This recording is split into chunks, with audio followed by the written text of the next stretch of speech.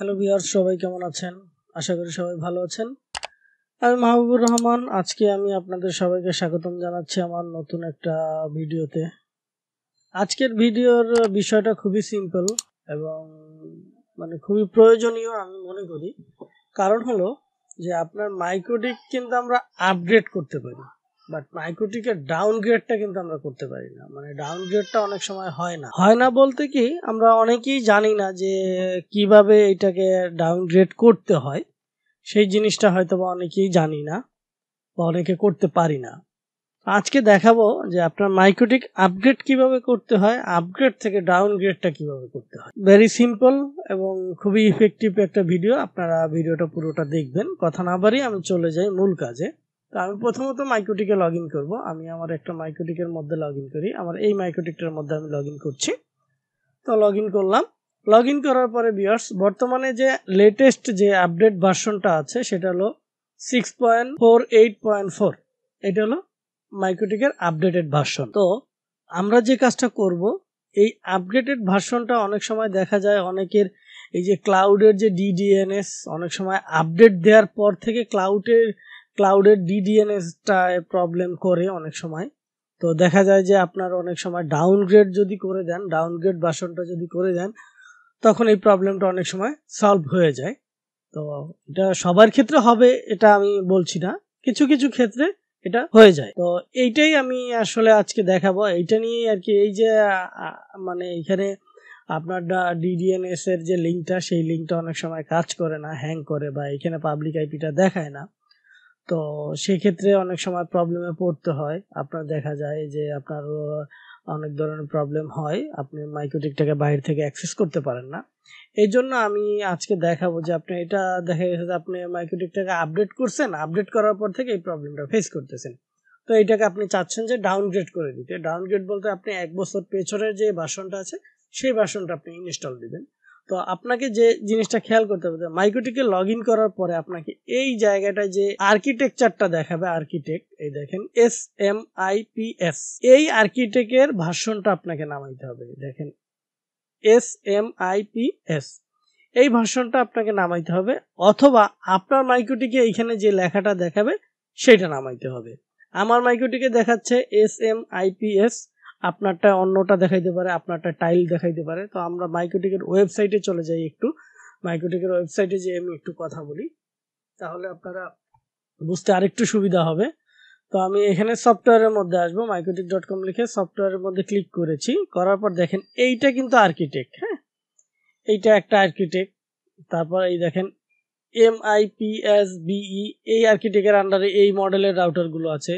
এই যে S M IPS, এইটার আন্ডারে আছে এই কয়টা মডেল কি আছে? এইচ এপি মিনি এবং এইচ এপি লাইট আছে। তারপরে দেখেন এইখানে এই যে টাইলস আছে টাইলসে সিসিআর আছে টিআইএলই টাইল টাইলের মধ্যে আছে সিসিআর সিরিজের যে রাউটারগুলো সেগুলো। আপনার যেটা, যে আর্কিটেক্টটা মিলবে, সেই আর্কিটেক্টটা দিবেন। বর্তমানে লেটেস্ট ভার্সন কিন্তু আমরা এইখানে পাচ্ছি। আমার মাইক্রোটিকের মধ্যে অলরেডি লেটেস্ট ভার্সন দেয়া আছে। তাহলে এখন আপনার মনে কোশ্চেন জানতে পারতে ব্যাকডেটেড ভার্সন আমরা কোথায় পাবো? বিকজ ব্যাকডেটেড ভার্সন পাবেন এই যে, এই জায়গায় দেখেন।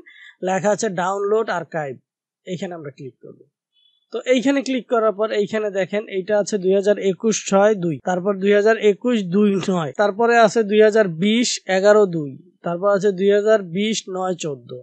তো আপনি এইখান থেকে আপনি যে ভার্সনটা নিতে চাচ্ছেন। সাপোজ মনে করেন যে আমি নিব কোনটা? এই যে দুই হাজার বিশ পাঁচ সাত। এইটা। এইখানে আমি ক্লিক করলাম। করার পর এইখান থেকে আমাকে খুঁজে বের করতে হবে যে আমার আর্কিটেক্ট কোনটা। দেখেন, আমার আর্কিটেক্টের ভাষণ সম্ভবত আমার, এই যেটা দেখেন, এই যেটা S M S M IPS আমার এই আর্কিটেক্টের সাথে দেখেন মিলে গেছে। এস এম আইপিএস সো আপনারা যখন নামাবেন, অবশ্যই আপনার আর্কিটেক্ট মিলিয়ে নামাবেন। যদি আপনার আর্কিটেক্ট না মিলে, তাহলে কিন্তু আপনি নামালেও কাজ করবে না। তো আমি কি করব? দেখেন, আমি এখানে ক্লিক করব। ক্লিক করলে দেখেন, এটা ডাউনলোড হচ্ছে। ডাউনলোড হওয়ার পরে আমরা এইটাকে কি করব? জাস্ট ড্র্যাগ অ্যান্ড ড্রপ করে এখানে ছেড়ে দিব। ঠিক আছে? দেখেন এটা নামলো। নামার পরে আমি কি করব? এখান থেকে ওপেনে এখানে দেখেন শো ইন ফোল্ডারে ক্লিক করব।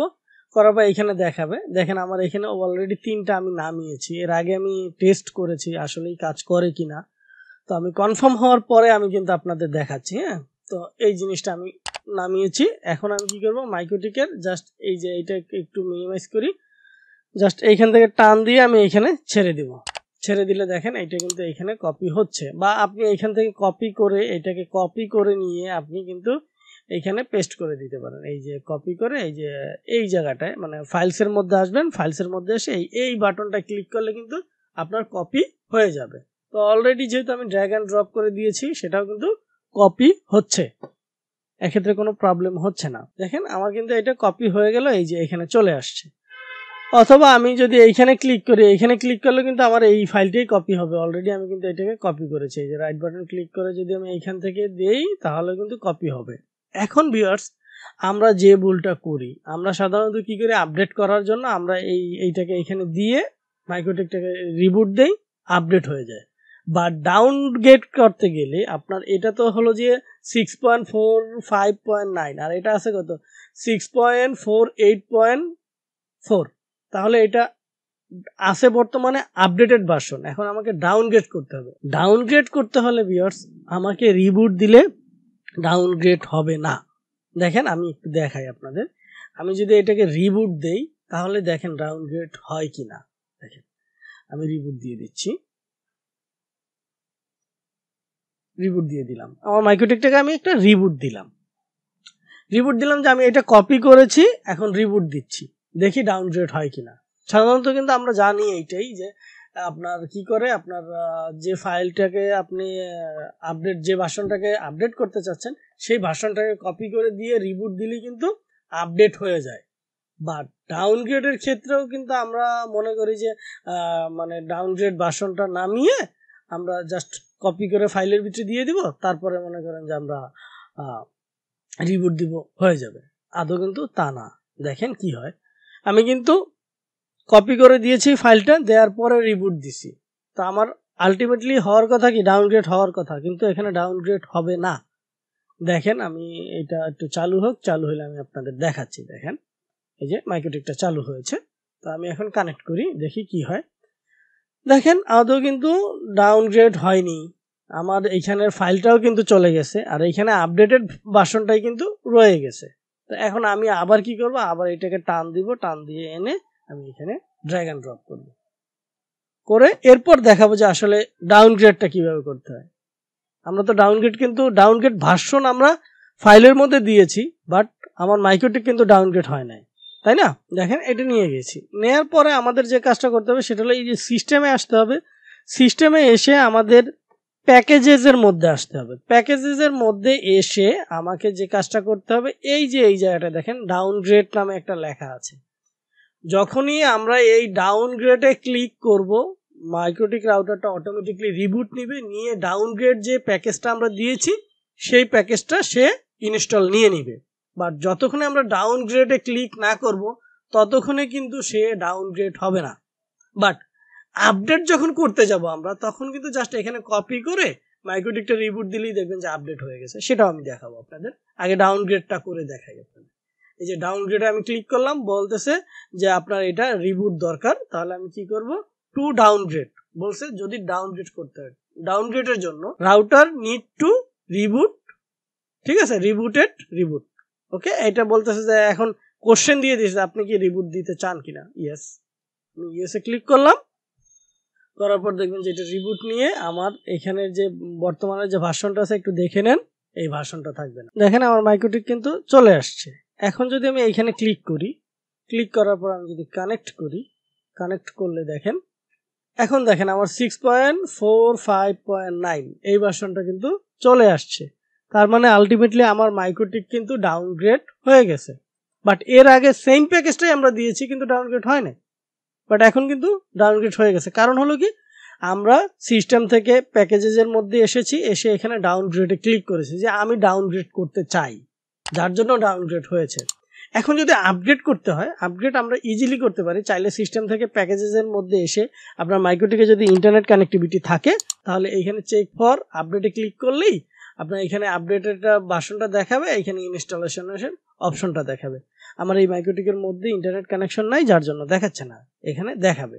দেখালে ইনস্টল ডাউনলোড অ্যান্ড ইনস্টলে ক্লিক করলে দেখবেন যেটা ডাউনলোড আপডেট হয়ে যাবে। অথবা আপনি এর ভার্সনটা আপডেটেড ভার্সনটা নামিয়ে আপনি জাস্ট এইখানে এই ফাইলের মধ্যে দিয়ে দেন। দেখেন অলরেডি এখানে আপডেটেড ভার্সনটা আমার নামানো আছে। দেখেন, এই যে six point four eight point four হ্যাঁ?